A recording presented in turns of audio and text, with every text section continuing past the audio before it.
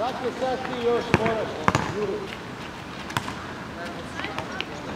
Daj se briga.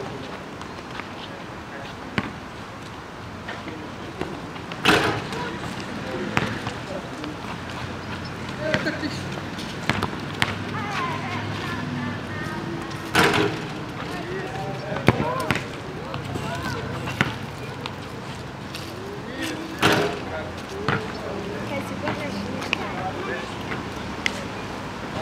Thank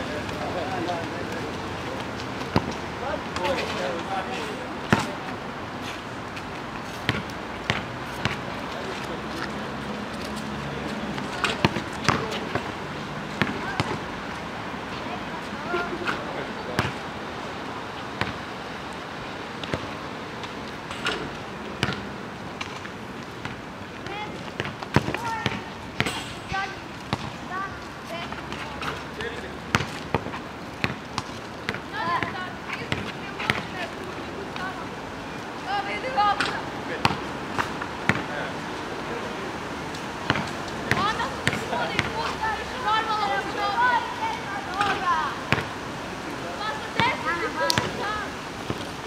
keep it.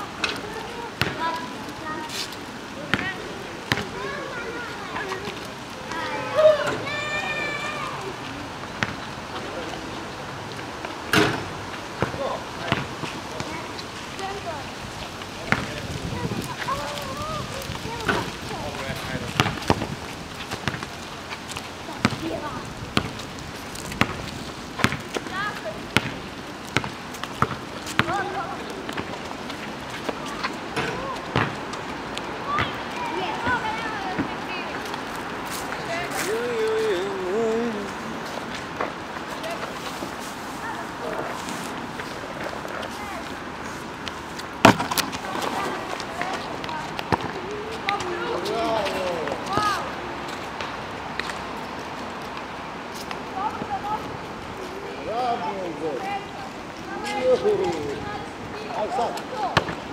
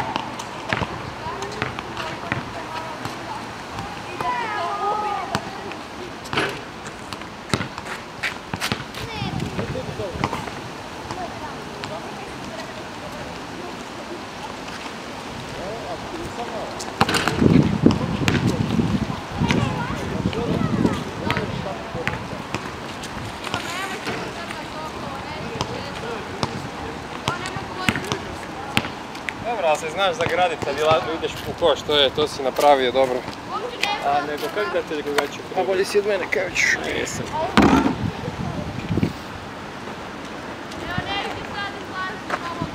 Znači, taj ti meni veliš sa...